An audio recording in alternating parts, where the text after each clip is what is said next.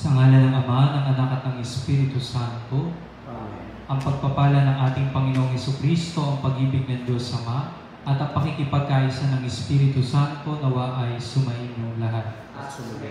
Mga minamahal na kapatid, sama natin sa ating mga panalangin ang kapayapaan ng mga kaluluwa ni na Concepcion Garcia, Benji Aguirre, Purificacion Antonio, para sa kagalingan ni Justina Faltado, at para sa ika-anim na pung taong anibersaryo sa kasal ni na Sebastian Natividad Perez at lahat ng mga kaluluwa sa purgatorio.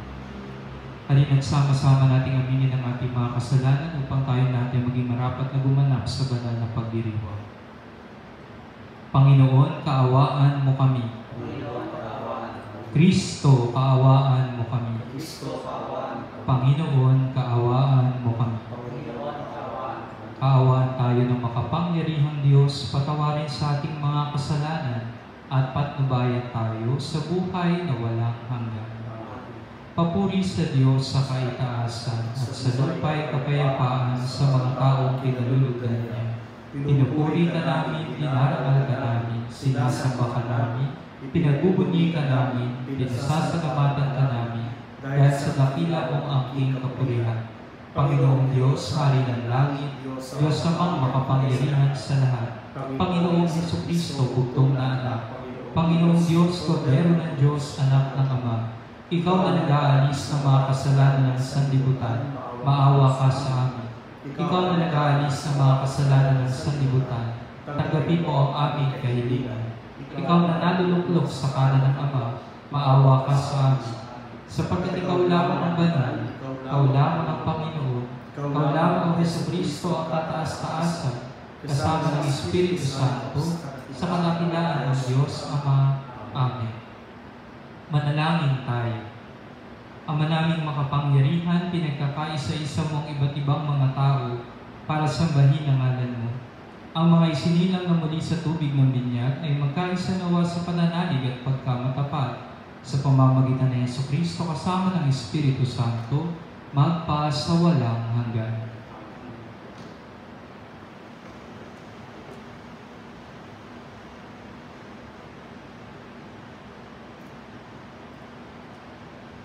Pagbasa mula sa mga gawa ng mga apostol. Noong mga araw na iyon, nagsasalita pa sina Pedro at Juan tungkol sa kanilang pinagaling ng dumating ang mga saserdote, ang kapitan ng mga bantay sa templo at ang mga Saduceo. Galit na galit sila sa dalawang apostol sapagkat ipinapahayag nila sa mga tao na si Jesus ay muling nabuhay at ito ang katunayan na muling mabubuhay ang mga patay. Kaya dinakip nila ang dalawa, ngunit ikinulong muna hanggang kinabukasan sapagkat gabi na noon. Gayunman, marami sa nakarinig ng kanilang pangangaral ang sumampalataya kay Jesus at umabot sa limang libo ang bilang ng mga lalaki. Kinabukasan, nagkatipon sa Jerusalem ang mga pinuno, ang matatanda ng bayan at ang mga eskriba. Kasama nila si Anas na pinakapunong saserdote, si Caipas, si Juan, si Alejandro at ang buong angkan ng pinakapunong saserdote. Pinaharap nila ang mga apostol at tinanong, sa anong kapangyarihan o kaninong pangalan ninyo ginagawa ang bagay na ito? Sumagot si Pedro, napuspos ng Espiritu Santo. Mga pinuno at matatanda ng bayan, kung sinisiyasat ninyo kami ngayon tungkol sa kabutihang ginawa namin sa lupong ito at kung paano siya gumaling, talastasin ninyong lahat at ng buong Israel na ang taong ito'y nakatindig sa inyong harapan at lubusang gumaling dahil sa kapangyarihan ng pangalan ni Heso Kristong taga Nazareth. Siya'y inyong ipinako sa krus, ngunit muling binuhay ng Diyos. Ang Jesus na ito, ang batong itinakwil ninyong mga tagapagtayo ng bahay, ang siyang naging batong panulukan.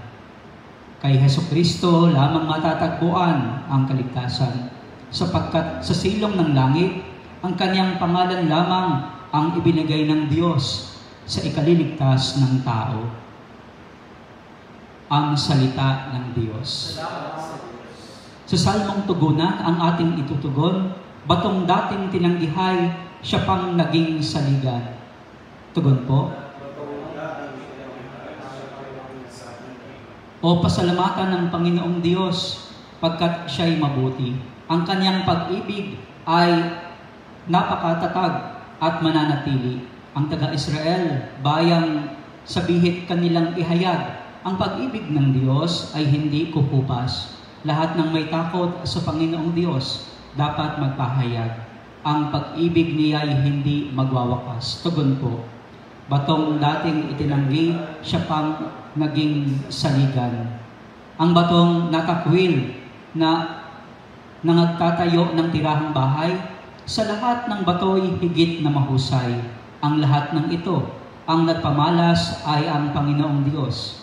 Kung ang iyong mamasdan ay kalugod-lugod, o kahanga-hanga ang araw na itong ang Diyos ang nagbigay, tayo ay magalak, ating ipagdiwang. Tugon po, batong dating tinanggihay, siya pang naging saligan. Kami ay iligtas, tubusin mo poon, kami ay iligtas, at pagtagumpayin sa layunit hangat. Ang pumarito sa ngalan ng poon ay pagpapalain. Magmula sa templo, mga pagpapalay kanyang tatanggapin. Ang poon ang Diyos. Tugon po, batong dating tinanggihay, siya pang naging salikan. Aleluya, aleluya, ang araw ngayoy gawa ng Diyos. Magdiwang tayo ng lubos, purihin ang manunubos, aleluya, aleluya.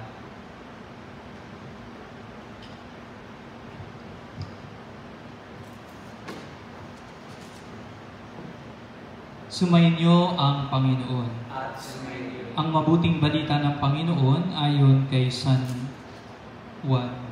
Puri sa iyo. Noong panahong iyon, muling nagpakita si Jesus sa mga alagad sa tabi ng lawa ng Tiberias. Ganito ang pangyayari. Magkakasama siyang Simon Pedro, Tomas, na tinaguri ang kambal, Natanael na taga Cana, Galilea, mga anak ni Zebedeo at dalawang alagad. Sinabi sa kanila ni Simon Pedro, Mangingisda ako. Sasama kami, wika nila. Umalis sila at lumulan sa bangka, subalit walang nahuli ng gabing iyon.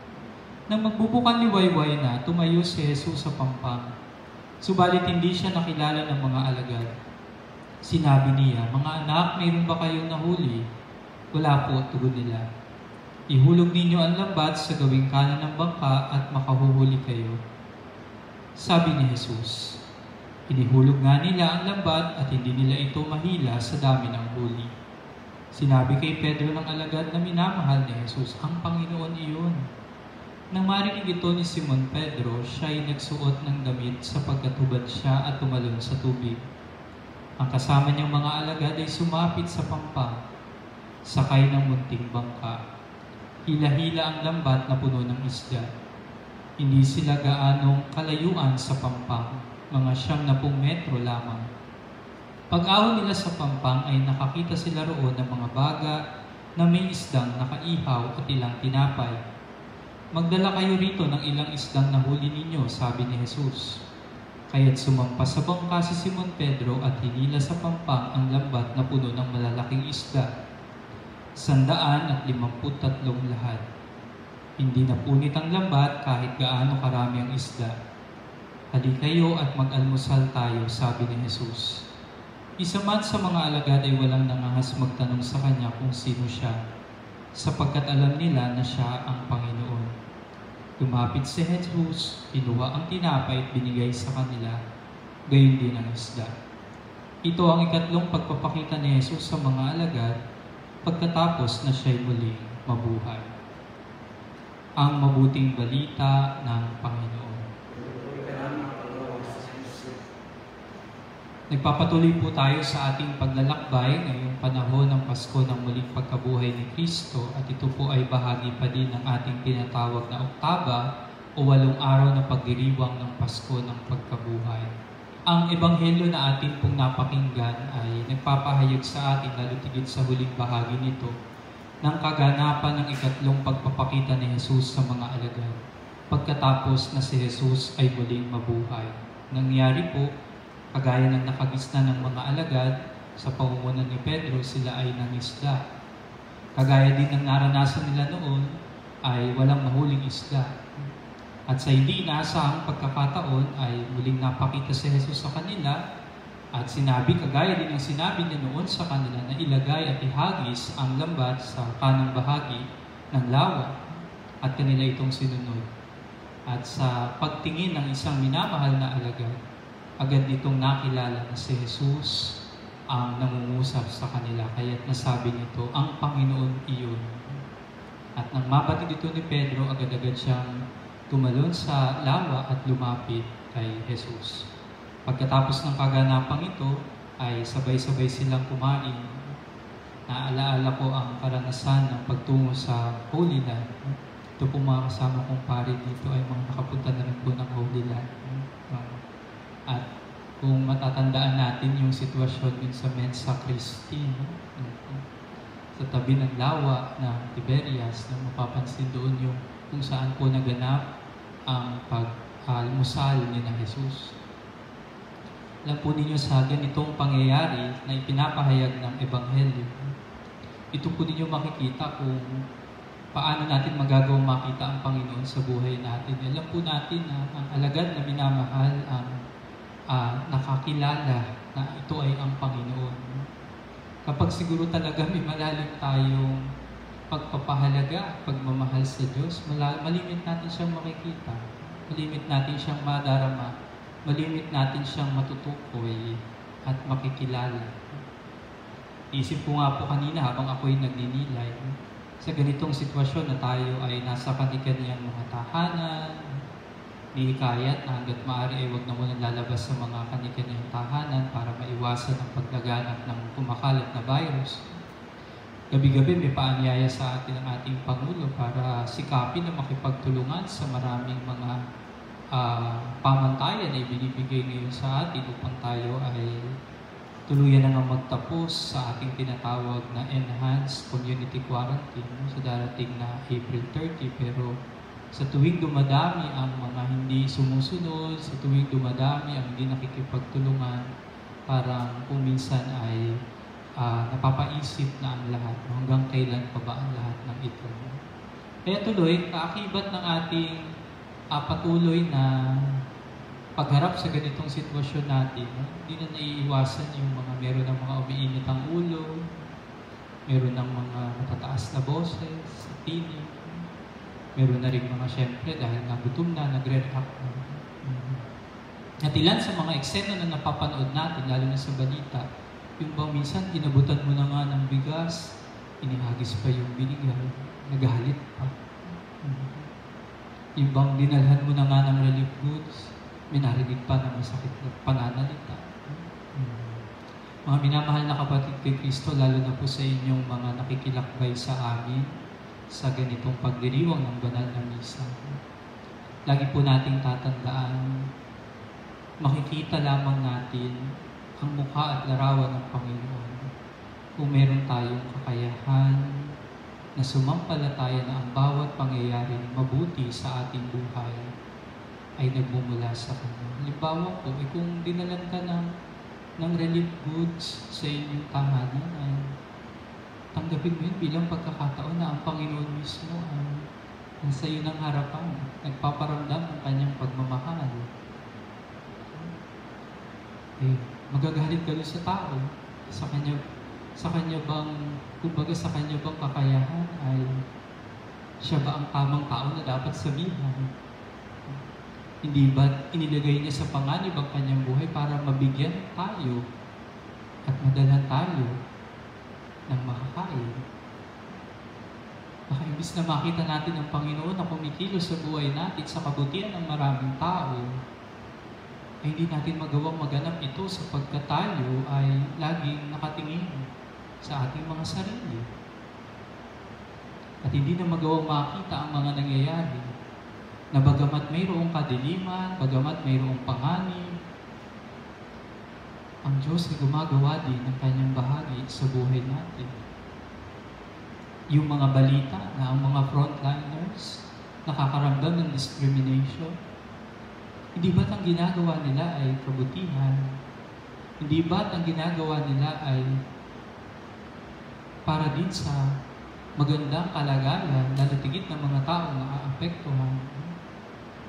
Sabihin natin na mayroon na talagang mga dapat tayong isaalang-alang, maging sa bahagi ng mga frontliners ay alam nila ang maaring maidulot kung minsan ng kanilang pagbibigay ng sarili pero lagay natin sa isang mas maayos at tamang pamamaraan ng pagtingin, lalo tigit sa itinuturo sa atin ang ating pananampalataya. Na hindi tayo tumingin sa mga tao batay lamang sa pansarili nating paghahangad. Kundi tumingin tayo sa mga kaganapan sa buhay natin, kagaya ng kaganapan sa lawa ng Tiberias, na ang mabuting nagaganap, na ang mabuting nangyari, na ang maraming huli ay nagkaroon ng katuparan dahil naroon ang Panginoon. Sa tuwing may mabuting nangyayari, sa tuwing mayroong pag-aalay ng sarili, sa tuwing mayroong pagbabahagi ng kakayahan, talento, kayamanan, o oras at panahon para sa kabutihan ng nakararami. Ito ang sandali na tayo nasa lawa ng Tiberias at nakakasaksi sa Panginoong muling na buhay. Mga minamahal na kapatid kay Kristo, mahaba-haba pa po ang paglalakbay natin sa Pasko ng muling pagkabuhay ni Kristo. At sa kabila po na tayo ay umaharap sa pandemya sa ganito ding panahon, naway patuloy din tayong makasumpo at makasaksi sa mukha, presensya at larawan ng Panginoon sa maraming lawa ng Tiberias na ating kinaroroonan. Amen.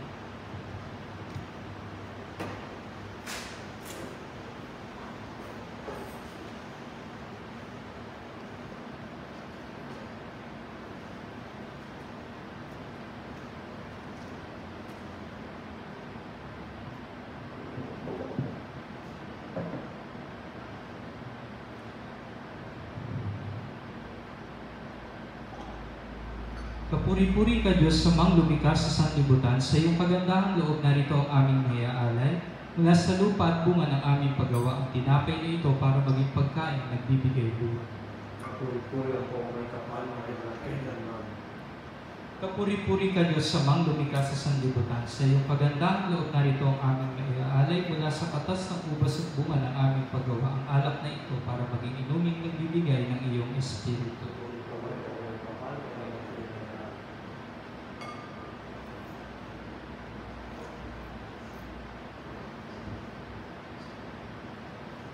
Manalangin kayo mga kapatid upang itong ating paghahain ay kalugdan ng Diyos amang makapangyarihan.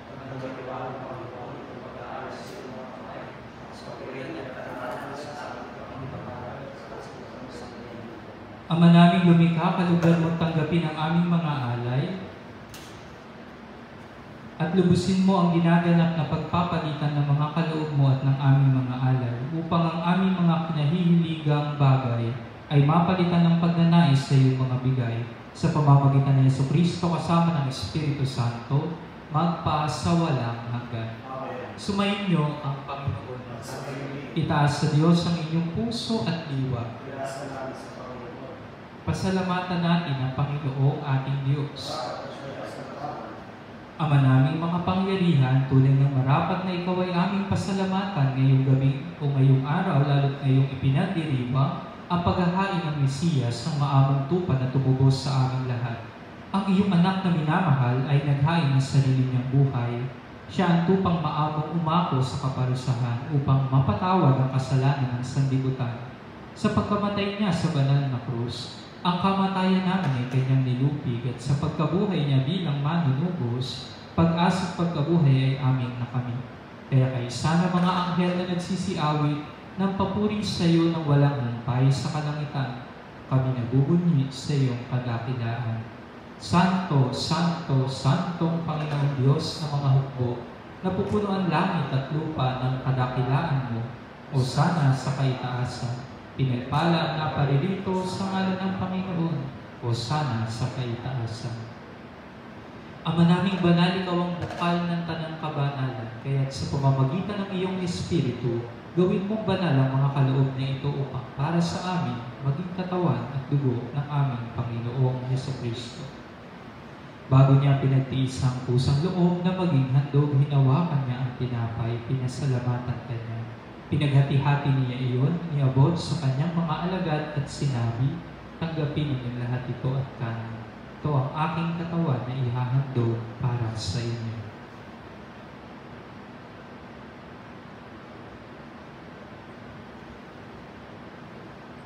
Gayun din naman ang matapos ang hapunan, hinawakan niya ang kalis, muli kanya pinasalamatan.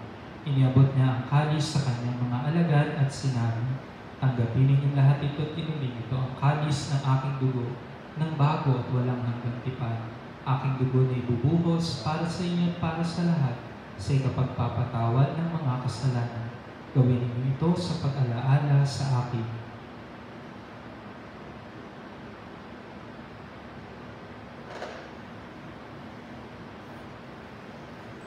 Pagbunyi natin ang misteryo ng pananampalataya.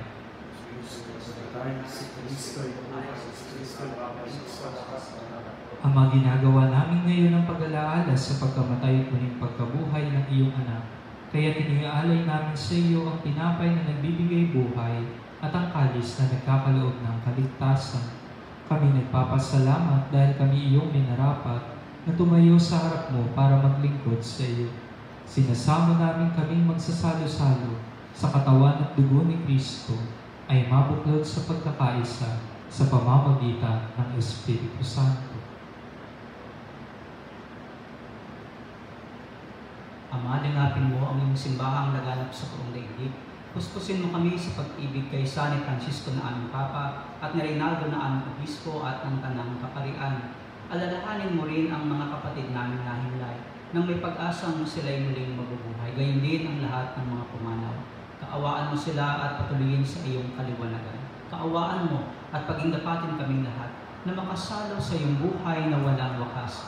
Kaysa ng mahal na Birheng Maria, Ina ng Diyos, ng, kayang, ng kanyang kabiyak ng pusong si San Jose, kaysa ng mga apostol at ng lahat ng mga banal na namuhay dito sa daigdig ng kalugod-lugod sa iyo, maipagdiwang nawa namin ang pagpupuri sa ikararangal mo sa pamamagitan ng iyong anak na aming Panginoong Heso Kristo. Sa pamamagitan ni Kristo, kasama niya at sa Kanya, ang lahat ng parangal at papuri ay sa iyo, Diyos sa mga makapangyarihan, kasama ng Espiritu Santo, magpa sa walang hanggan. Sa tagubilin ng mga nakagagaling na utos at turo ni Jesus ng Panginoon natin at Diyos, ipahayag natin ang lakas loob. Ama namin, sumasalamat ka, sambahin ang ngalan mo, mapasa amin ang kaharian mo, sundin ang loob mo dito sa lupa para ng sa langit. Bigyan mo kami ngayon ng aming kakanin sa araw-araw. Patawarin mo kami sa aming mga sala, para ng pagpapatawad namin sa nagkakasala sa amin. At huwag mo kami ipahintulot sa tukso, at iadya mo kami sa lahat ng masama. Hinihiling namin kami iadya sa lahat ng masama, pagkalooban ng kapayapaan araw-araw, iligtas sa kasalan, ilayo sa lahat ng kapahamakan, samantalang aming pinananabikan ang dakilang araw ng pagpapahayag ng tagapagligtas namin si Yeso Kristo.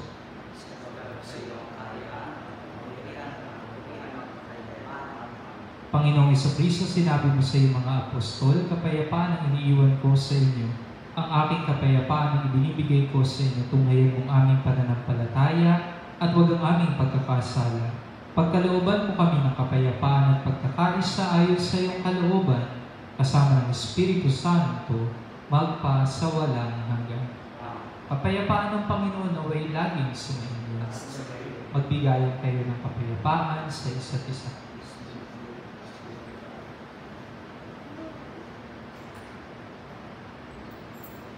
Kordero ng Diyos, nag-aalis sa mga kasalanan ng sanlibutan, kaawa ka sa amin. Kordero ng Diyos, nag-aalis ng mga kasalanan ng sanlibutan, maawa ka sa amin. Kordero ng Diyos, nag-aalis ng mga kasalanan ng sanlibutan, pagkaloob mo sa amin ng kapayapaan.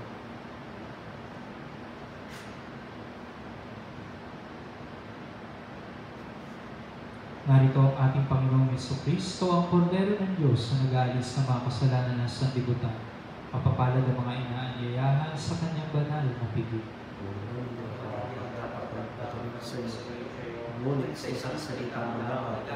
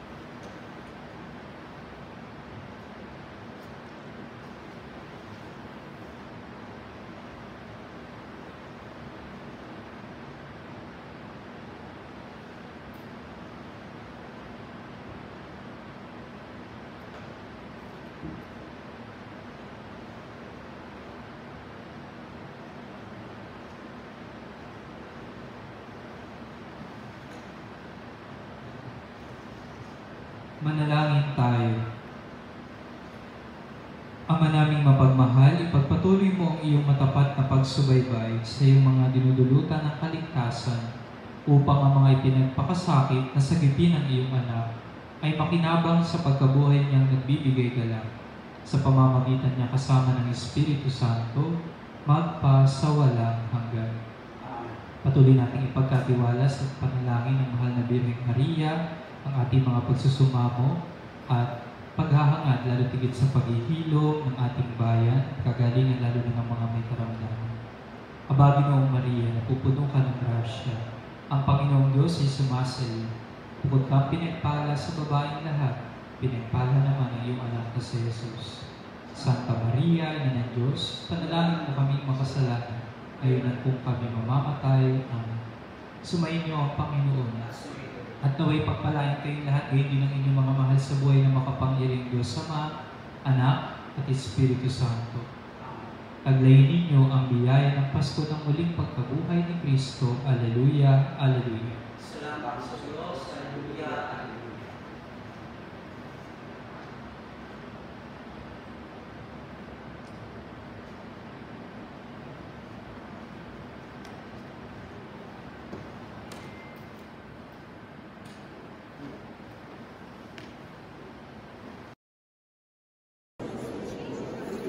Si Jesus ay muling nabuhay. Aleluya, aleluya.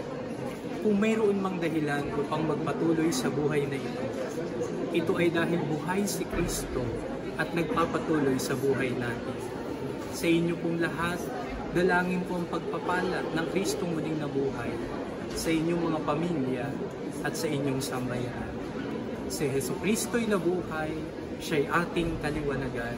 Aleluya, Aleluya.